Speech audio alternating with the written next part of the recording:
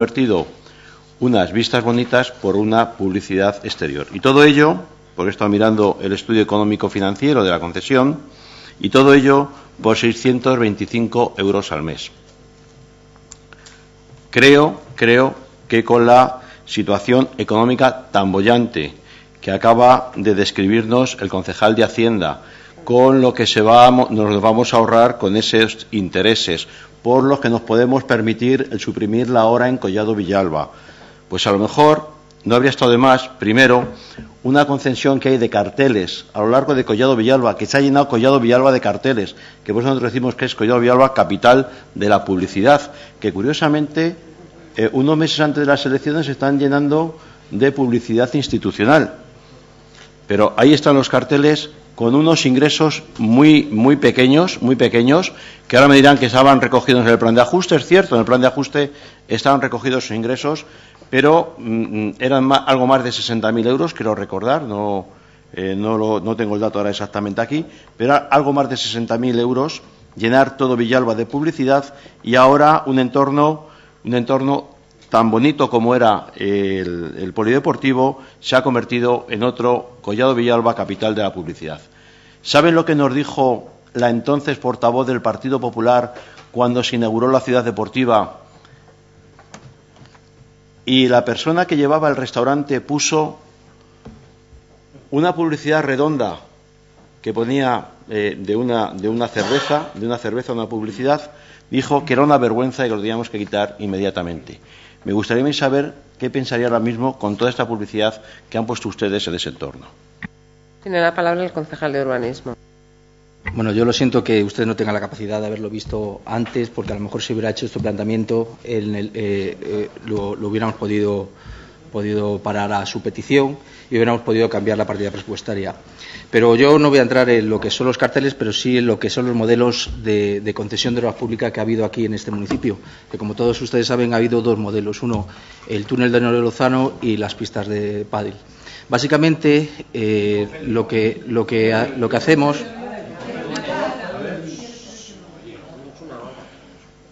Básicamente, como concesión de obra pública, eh, lo que este equipo de gobierno, cuando entra a, dirigir el, ayuntamiento, hay muchísimas peticiones de un club de, de, pádel o, tenis. Y tenemos las, lamentables instalaciones de cómo estaban las pistas de pádel que todo el mundo conocemos. ¿no? Eso estaba ahí. Entonces, obviamente, sin ningún medio económico, eh, decidimos cómo sacarlo. Y se saca lo que, bueno, voy a hablar coloquialmente para que todos los ciudadanos nos entiendan, a lo que se llama doble vuelta. Se hace un sondeo para gente que esté interesada y se presenta una proposición con esas pistas de pádel.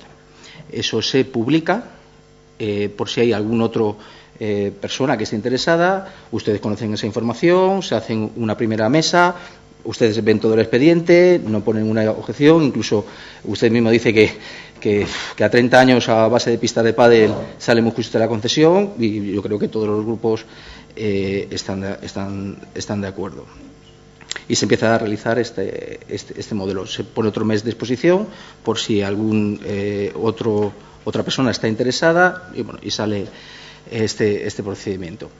Básicamente, al Ayuntamiento de Goya Villalba le cuesta cero durante 30 años. Cero y vamos a tener las mejores instalaciones de pádel y tenis de toda la sierra. Es más, ahora mismo que estamos a una semana, 15 días de, poderlas poner a uso de los, de los ciudadanos de Goya Villalba, han estado los servicios técnicos y había dos, eh, dos, dos, farolas de las pistas de tenis que estaban eh, mal. Como la concesión pone que todo es a riesgo de aventura del adjudicatario, este señor ha tenido que desmontarlo, cimentar y hacerlo. Claro, ¿verdad?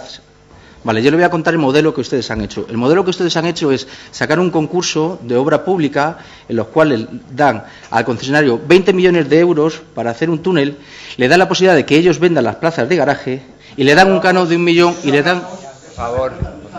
No tiene, no tiene el turno de palabra. No tiene el turno de palabra, señor Morales. Le llamo al orden. Señor Morales, le llamo al orden, no tiene el turno de palabra. Señor Morales, le llamo al orden por tercera vez, no tiene el turno de palabra. Espérese. Bueno, yo sigo explicando a los ciudadanos lo que son los modelos de gestión de concesión de obra pública de, los, del Partido Socialista y el Partido Popular.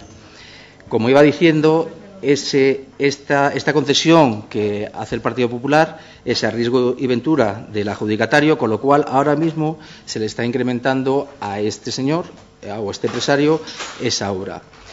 En el modelo de concesión de obra pública suya, de 20 millones, se puso en 40 millones. Es más, ahora este equipo de gobierno tiene que sacar un capítulo de 380.000, 400.000 euros para arreglar, para arreglar esa, esa concesión de obra pública que es el túnel. Entonces, bueno, yo me repito a la gestión que hacemos. Eh, la publicidad, pues obviamente, eh, como usted ha dicho, está puesto en un plan en un plan de saneamiento. Yo creo que según se está haciendo la política del Partido Popular, sobre todo desde el equipo de Hacienda, en uno o dos años se va a poder eh, bueno, pues llegar a acuerdos con los publicistas o con las empresas que tienen para retirar esas, esas campañas de publicidad, bueno, pues yo creo que para el 2016-2017 a lo mejor probablemente se pueda, se pueda hacer. Ojalá, ojalá. Pero si eh, a, mí me, a mí personalmente me dicen, bueno, vamos a dotar a Collado Villalba de unas infraestructuras que nadie tiene en el noroeste para seguir posicionando eh, eh, Collado Villalba donde tiene que estar, a cambio de unos carteles en una ciudad deportiva que todo el mundo también conoce, que todas las ciudades deportivas mm, viven los clubes de la publicidad, pues yo le quiero decir que creo que la gestión en esto, como en todo lo que está haciendo el Partido Popular, eh, no es que sea buena, es que es excelente. Siguiente pregunta.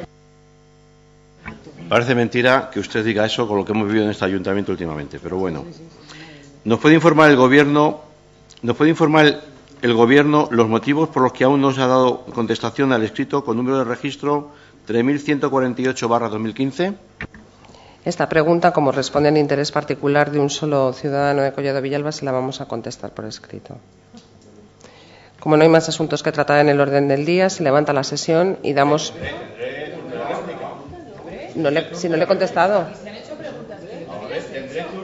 le concedo a usted, es que le voy a contestar por escrito, entonces ¿qué me va a contestar? ¿A una contestación que le vamos a dar por escrito? Tiene usted el turno de réplica, señor Morales. Pero porque yo se lo doy, no porque usted me lo exija o lo tenga. No, no, no, es que es mi derecho. Es mi derecho. Señor Morales, si yo no le contesto, ¿usted qué me va a replicar si no le he contestado? Bueno, vamos a ver. Eh, Esperemos, esperemos que nos conteste por escrito, pero que no hagan como han hecho tradicionalmente, curiosamente, con este empresario. Un empresario que se le convoca a una reunión de comerciantes donde el señor Flores, con el motivo que antes ha sacado el señor Alberto Sánchez, iban convocados para hablar de la dinamización comercial de Collado Villalba, y una vez que acaba de decir lo que iban a hacer, o lo que pretendían hacer para el 2015, dan un turno de palabra a los comerciantes que allí estaban. Y en ese turno de palabra, uno de los comerciantes lo que hace es echar en cara al gobierno la mala situación en que se encuentra el parking de Lozano. No lo hacen todos también, señor Pintado. La mala situación en que se encuentra el parking de Lozano, donde se había incumplido el acuerdo del anterior alcalde de que iba a haber esas plazas de aparcamiento. Y a partir de ahí, señor Flores, usted le pregunta a este empresario, le pregunta a ese empresario que si viene como representante del Partido Socialista. No sé a cuento de qué viene eso, señor Flores. No sé de qué cuento viene.